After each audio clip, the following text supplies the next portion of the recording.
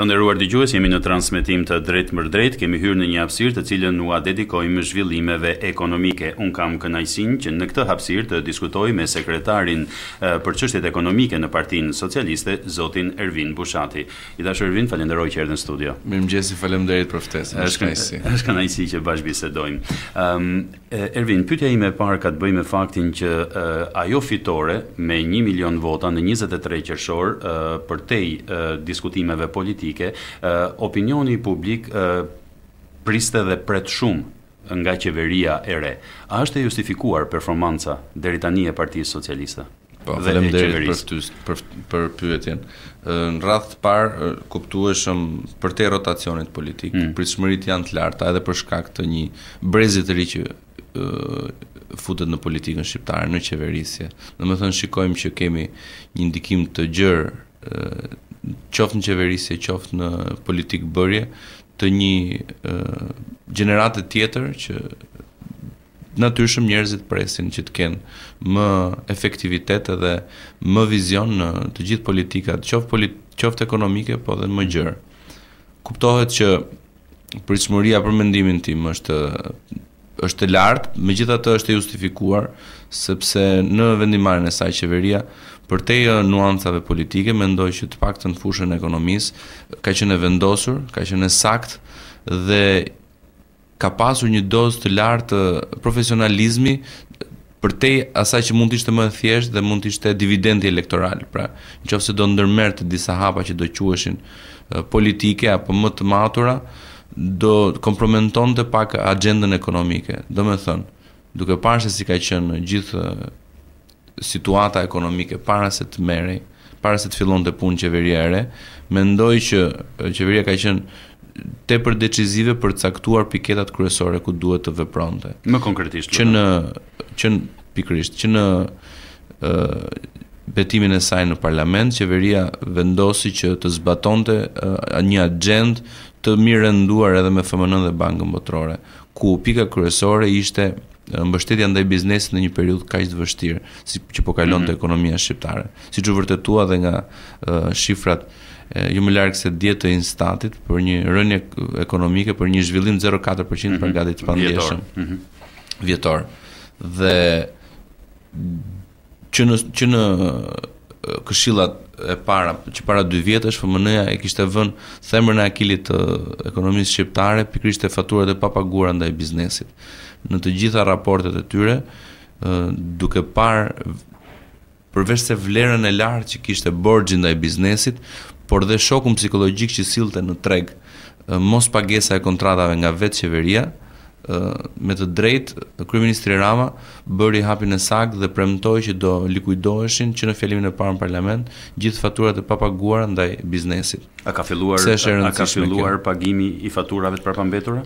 Di që FMN-ja ka nënshkruar është lidhur kontrata me FMN-në pikërisht për Duhet të ishte bërë dhe diskutimi i parë apo jo? Nuk nuk jam i sigurt për teknikalitetet se kur fillon edhe lëshohet. Teknikalitetet kanë rëndësi apo jo? Patjetër, kam përshtypjen do ndodhë këtë ditë, mm -hmm. në një nga këto ditë, mm -hmm. sepse varet se kur i lëshon FMN-ja mhm. fondet mm -hmm. dhe e rëndësishme, kuptohet që paratë janë të rëndësishme. Kur diskutohet për këtë marrëveshje, futja e likuiditetit në treg është e jashtëzakonshme. likuiditetit në treg është është e mirë. Por si ekonomist dua të sqaroj një një, mm -hmm. një mhm. pikë që për mua është nevralgjike. Dëgjohet shpesh një mm, një një logjikë e përgjithshme kur diskutohet sidomos për FMN-në apo për zhvillimet ekonomike ku thuhet që si çdo e mirë që ka një të keqe ashtu dhe FMN-ja sjell paratë po vë kondita, domethënë e mira është që sjell paratë dhe e keqja që vendos disa kushte. Në arsyetimin tim, tim pastër si ekonomist mendoj që e vërteta është e kundërt. E kundërta është e vërtetë. Pra, ë Më mirë do ishte që FMN-ja gjithmonë të jepte këshilla dhe jo gjithmonë të të kishte para nga mbrapa për të për të për të joshur pra, politikanë, më shumë sepse më shumë në kuadrin e një konsulenti se sa të një partneri. Jo, jo, jo pikërisht në këtë. Më lejoni ta shpjegoj. Domethënë, politikanët shqiptarë ashtu siç dhe ekonomia shqiptare, pra demokracia jonë e re, ë nuk ka një eksperiencë të gjerë, qoftë në kapitalizëm, qoftë në demokraci. Dhe duke ditur Klasa politike, që në fund të keqmenaxhimit të çdo tetëvjeçari të një qeverisje, do ketë gjithmonë një rrip sigurimi siç është FMN-ja, i bën politikanët tanë më të papërgjegjshëm. Domethënë, të kenë shpenzime elektorale, të kenë papërgjegjshmëri në menaxhimin e fondeve publike, sepse mbas 8 vjetësh e dinë që do jetë një dorë që do t'i mbrojë, siç është FMN-ja, do japë disa para për të rregulluar financat mm, publike. Mm, okay. Dhe kjo njihet si efekt dhe në ekonomi, që quhet dëmi moral, moral hazard, që mbart në vetvete ndihma të tilla. Pra, ekonomi të reja, demokraci të reja, duke e ditur që gjithmonë do kenë mbësht një mbështetje të sigurt, qoftë edhe kur i menaxhojnë keq fondet, do të vazhdojnë të jenë të pakujdesshëm dhe të papërgjegjshëm ndaj mm -hmm. elektoratit, pra taksapaguesve. Në menaxhimin e në menaxhimin e fondeve mhm. publike. Mm -hmm. Dhe mendoj që në këtë rast Patjetër që duheshin këto likuiditete, por në radhë të parë është më e rëndësishme që si në krye të çdo rotacioni kur janë disa momente luçiditeti të të qeverisë apo dhe të klasës politike që për një moment mund të jetë realiste dhe të mos jetë të jetë larg efekteve narkotike elektorale. Mm -hmm. që thotë që i kemi premtuar, kemi 3 vjet që po i bëjmë, hyn në atë në atë inercinë e vet politike dhe nuk mm -hmm. ka më uh, atë këndvështrimin e qartë, të paktën ekonomik, se unë mm -hmm. këtë mhm. fushë e njoh, e, e shoh si si ekonomist. Pra, është një nga ato momentet e vetme kur mund të shohë qartë dhe të dëgjojë. Dhe ky është pikërisht hapi më më i duhur që një qeveri apo një klasë politike të dëgjojë. Dhe FMN-ja është këshilltari më i mirë sot në botë, i padiskutueshëm. Me plot të drejtë, Ervin, nënvizove faktin që raportet me FMN-në dhe futja në treg e finan, e e një fondi të konsiderueshëm nga Fondi Monetar Ndërkombëtar është është mjaft i rëndësishëm për ekonominë. Madje unë kam parasysh të dy drejtuesit e financave, zoti Cani dhe Arben Ahmetaj, ministri, e quajtën ato dallandyshet e para të rilindjes ekonomike. Përtej këtyre dy dallandysheve, shohim elemente të tjera në performancën ekonomike të qeverisë për një rigjallërim, për një rilindje të të gjithë ekonomisë duke patur parasysh që rritja e vitit të kaluar ka qenë thuajse e papërfillshme. Për herë të parë, ndoshta nga viti nëntëdhjetë e shtatë, Shqipëria ka ritmet më të ulëta të rritjes ekonomike të matura. Dhe kjo është për të ardhur keq, duke patur parasysh që Shqipëria është një ekonomi e re, me një popullatë të re, është e re në në kapitalizëm, në tregun e lirë dhe du, është tepër larg potencialit të saj që në 10 vjeçarin e kaluar ka qenë diku mesatarisht 6%. Kështu që jemi tepër larg mm -hmm. uh, asaj që duhet të pritej dhe që mund të arrinte ekonomia shqiptare realisht. Në këtë situatë qeveria e re ka ka bërë lëvizjet e duhura, kjo ishte pyetja. Po, këtu duhet të dalë mhm. edhe unë, domethënë duke pasur parasysh terrenin e brishtë mbi të cilën ecën sot qeveria dhe ekonomia shqiptare, mendoj që ndërhyrjet kanë qenë të qeta dhe kanë qenë ato të duhura për të mos mos e tundur shumë tregun dhe mos mos shkaktuar efekte të të të, të pandalueshme apo reaksione zinxhire të cilat do të dëmtonin ekonominë akoma më keq. Duhet të kemi parasysh që ekonomia nuk është një shkencë e vdekur, por është e gjallë, sepse ka të bëjë me njerëz. Me njerëz, absolutisht. Nuk është si studimi i latinishtes, kështu që efekti psikologjik në ekonomi është shumë i rëndësishëm. Në qoftë se sot konsumatorët shqiptarë investitorët shqiptarë, bizneset shqiptare, mendojnë që do të kenë kohë më të vështira përpara, mendojnë që qeverinë nuk do ta kenë në krah, mendojnë që e ardhmja do të jetë më e vështirë, atëherë ata do të ulin nivelin e konsumit dhe të investimeve. Mm -hmm. Sepse pritshmëria është një nga efektet kryesore në financat publike. Klima apo jo, klima e përgjithshme. Pritshmëria, sepse klima mund të jetë dhe e mirë për momentin, po pritshmëria në në qoftë se për shembull klimë të mirë mund të ketë edhe Italia apo Anglia, po në qoftë se pritshmëritë janë të ulëta për të ardhmen, atëherë tregohen konservatorë, dorërrudhur edhe ata të cilët dorështrënguar ata që mund të investojnë apo të konsumojnë. Në qoftë se një familje, për shembull, mendon që nesër do ketë kohë më të këqija përpara, atëherë do ta vonojë atë mhm. investimin në studimin e fëmijës, do ta vonojë atë blerjen e makinës së re apo të një shtëpie të re. Sepse mendon që do ketë kohë më të vështira përpara. Pra, efekti i pritshmërisë në financa është shumë shumë i rëndësishëm, qoftë në vendimmarrjen familjare, qoftë dhe në atë të biznesit. Absolutisht.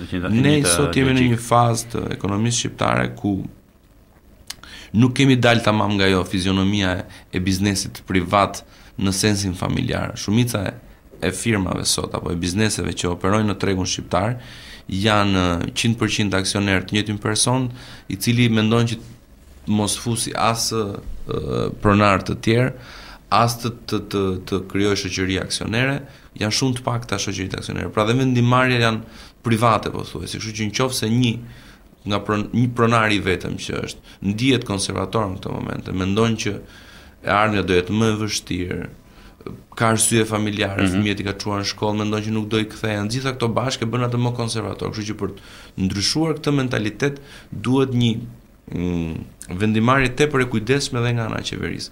Kështu që mendoj që ka qenë e kujdesshme, ndonëse ka pasur edhe mm, e kujdesshme dhe ka qenë e kujdesshme sepse garantoi konceptin e kontratës në shtet, mm -hmm. pra që kompani do të respektojë, do të respektojë punën e kompanive gjatë viteve të kaluara. Është një koncept shumë i rëndësishëm, sepse nëse garanton kontinuitet, nuk garanton kontratat, nuk garanton kontinuitetin, atëherë vazhdimësinë, si mund të garantohen kontratat nëpërmjet mhm. vetë bizneseve në treg kur shteti që është kryesor nuk i garanton ato. Pra duke garantuar këtë ka bërë hapin e parë, mendoj që Dhe nëpërmjet paketës fiskale, pra ndryshimit të tatimit, duke sjellë duke risjellë atë progresiv, ka bërë që në të shpërndahen të ardhurat më shumë në klasën konsumatore, pra në 90-95% të popullatës, të cilët do kenë mundësinë të konsumojnë më shumë, duke qenë se taksohen tatohen më pak nga nga shteti. Për sa i përket një nga elementet që opozita e kritikon ashpër qeverinë e sotme është mungesa ose paaftësia në hapjen e vendeve të reja të punës që do të gjeneronte më shumë likuiditet, më shumë të ardhurave dhe vetë ky koncept që shpjegove për sa i përket mënyrës se si funksionon qoftë një individ, qoftë një familje apo shteti do të liberalizohej disi. Po. Përtej paragjykimeve politike, domethënë. Jo, përtej retorikës politike, po pra, me raste konkrete, a ka hyrje të biznesit të huaj apo vendas në zgjerim këtu, këtu, këtu do. Mm -hmm. Përtej paragjykimeve politike, domethënë as unë s'dua të paragjykoj pozitën, megjithëse më duket pak e ngutur në në gjykimin e saj, prandaj them që dhe ata paragjykojnë sepse Kjo paketë fiskale ka 3 muaj që operon. Mm -hmm. Kështu që nuk mund të pritet nga një shpejt në ekonomi të paktën efektet ndihen 1-2 vjet, tamam tamam 4 vjeçar. Ndonëse kjo paketë ka qenë edhe para vitit 2007, domethënë Shqipëria ka qenë në sistem tatimi progresiv, pra nuk mund të themi që është tërësisht e ri dhe është dhe mhm. është një është një eksperiment, nuk mund të quhet eksperiment. Përtej faktit dhe që tatimi progresiv është në gati 90% të vendeve të botës dhe ato që janë me ekonomi të vërtetë tregu. Por, gjithashtu duhet kemi parasysh që dhe këtu mbasi bëra këtë hapjen, duhet kemi parasysh që në, në, në një treg të lirë, në kapitalizm, vendet e punës i krijon biznesi. Biznesi, absolutisht. Qeveria ka një numër të caktuar punonjësish, Në Shqipëri sidomos pjesëmarrja në treg e qeverisë është është e ulët, është shumë e ulët. Domethënë Shqipëria është një vend thellësisht kapitalist, sepse në qoftë se ndërhyrja e shtetit në ekonominë franceze për shembull është pesëdhjetë e shtatë për qind e GDP-së, në Shqipëri nuk arrin as tridhjetë për qind e GDP-së, domethënë gati gjysma, që është një shtet kapitalist Franca, po kështu Italia, mos flasim për Suedinë që ka akoma më të lartë dhe Thënë këtë, kuptohet që qeveria ka një ka një numër tepër të limituar të njerëzve që mund të punësojë. Atë që mund të bëjë qeveria dhe atë që duhet duhet të bëjë qeveria në një treg të lirë është që të krijojë një klimë biznesi që të rriten mm. investimet, mm, absolutisht ato të huaja, sepse kuptohet që potenciali i firmave shqiptare është ky dhe vazhdon me një trend normal, por nëse do pritet një ndryshim përveçse sasior, por dhe cilësor mund të vijnë nga jashtë. Në çfarë sensi? Në radhë të parë mund të vijnë kompani të mëdha që mund të punësojnë një numër të konsiderueshëm njerëzish, gjë që nuk ka ndodhur deri më sot në Shqipëri, të jemi të sinqertë. Domethënë investime të ndjeshme nuk ka pasur firma serioze që të vijnë dhe të investojnë që njihen, por e dyta dhe që për mendimin tim është më e rëndësishme është sjellin një një hop cilësor. Domethënë ndryshojnë teknologjinë dhe sjellin atë know-how që Është kaq i rëndësishëm në ekonomi, pra fusha të reja dije ku mund të përdoret dhe të trajnohet kapitali ynë njerëzor, si, mm. si Shqipëri. Duhet kemi parasysh që Shqipëria ofron shumë këtë pikë dhe këtu mendoj që ka shumë punë për të bërë. Ë nga ana demografike Shqipëria është një vend i ri me një popullatë të re dhe një popullatë tepër të të të etur për të mësuar, dinamike mhm. dhe për dhe të etur për të mësuar dhe për të adoptuar. Kemi një rini apo një pjesë të re të shoqërisë e cila është e gatshme të pranojë çfarëdo lloj mentaliteti biznesi. Flet gjuhë të huaja shumë mirë, domethënë ka pak vende në botë që të jenë bilinguale apo mhm. trilinguale siç janë, domethënë të gjithë të rinjtë flasin sot kuptueshëm anglisht dhe italisht, plus dhe gjuhëve të tjera. Dhe kjo është një është me të vërtetë një vlerë. Po të kemi parasysh që sot bota globalizohet qoftë edhe nga sensi i mm. komunikimit. Mm, dhe në teknologjitë e reja, apo në bizneset e reja, sidomos të shërbimeve, kjo është një aset, një kapital tepër i vlefshëm, mm. pra komunikimi dhe sensi i orientimit. Mendoj që këtu ka shumë vend për të bërë punë dhe promovimi i Shqipërisë në tregjet ndërkombëtare dhe sidomos ato që janë afër nesh, që ne mund t'u përgjigjemi, duhet të jetë edhe më dinamik. Por kuptohet që efektet nuk mund të jenë të menjëhershme, mendoj që jemi në rrugën e duhur, hapja me me tregjet e huaja duhet të vazhdojë me një ritëm edhe më të rritur dhe të mundësohet që të mundësohet sidomos komunikimi me me kompani të të të të, të me kompani që mendohet që mund të sjellin këtë lloj inovacioni në Shqipëri. Jo thjesht nuk kam asnjë gjë me me biznesin e manufakt manufakturës apo punimeve me dorë apo fasonëve e tjerë, por që kuptohet që duhet të jemi realistë të fillojmë dhe të mendojmë për të ardhmen, sepse ne nuk mund të konkurrojmë qoftë me Bangladeshin apo me Kinën ku krahu i punës është tepër më i lirë, është tepër më i madh dhe edhe tregu është më i madh atje Shqipëria duhet të jetë pjesë e tregut duhet, global. Ne jo vetëm tregut global, po duhet të fillojmë të adaptohemi me tregun ku jemi diku mm, këtu në Europë Europ, dhe të përgjigjemi me me sektorë apo me industri të cilat i përgjigjen më afër Europës dhe kanë të bëjnë më shumë me mm -hmm. shërbimet.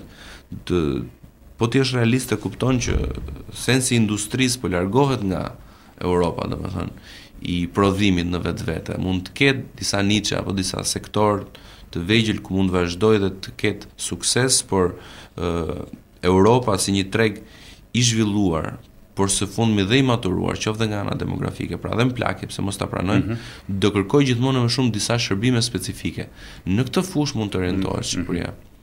Ka për shembull ka shumë shtete që e kanë gjetur vendin pse jo edhe e kanë gjetur vendin e tyre në tregun global edhe në shërbimin ndaj të, ndaj moshës së tretë për shembull qoftë nga ana shëndetësore apo e përkujdesjes ne kemi klimën e mirë kemi afërsinë me Europën jemi në një pikë nevralgjike ku kalojnë gjithë rrugët pra të gjitha duhen menduar sidomos në strategjikisht strategjikisht mm -hmm. sidomos në në industrinë në në në sektorët e shërbimeve mendoj. Mm -hmm. Është më realiste dhe më largpamëse, po ta shohësh në në kontekstin evropian.